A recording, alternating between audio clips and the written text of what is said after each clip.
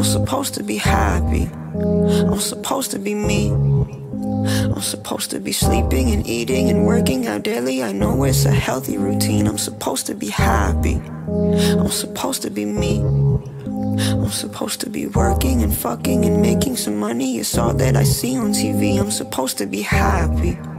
I'm supposed to be free. Supposed to be posting on Twitter and taking these pictures and look like I'm on magazines. I'm supposed to be happy. What happened to me? What if I don't fit the mold that they want me to be? I'm supposed to be happy. I'm supposed to be me.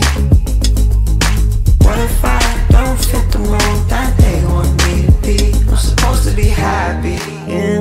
But what if I'm sad? Can my family and friends stop treating me like there's something wrong with that? I'm supposed to be happy. What happened to me? What if I don't fit the mold that they want me to be? These changes uh, driving me, driving me mad. Yeah, driving me mad. I can't driving me, driving me mad. Yeah, driving me mad. I'm supposed to be happy. What happened to me? What if I don't fit the mold that they want me to be? I'm supposed to be happy. I'm supposed to be me.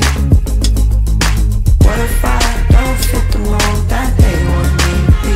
I'm supposed to be happy, yeah. But what if I'm sad?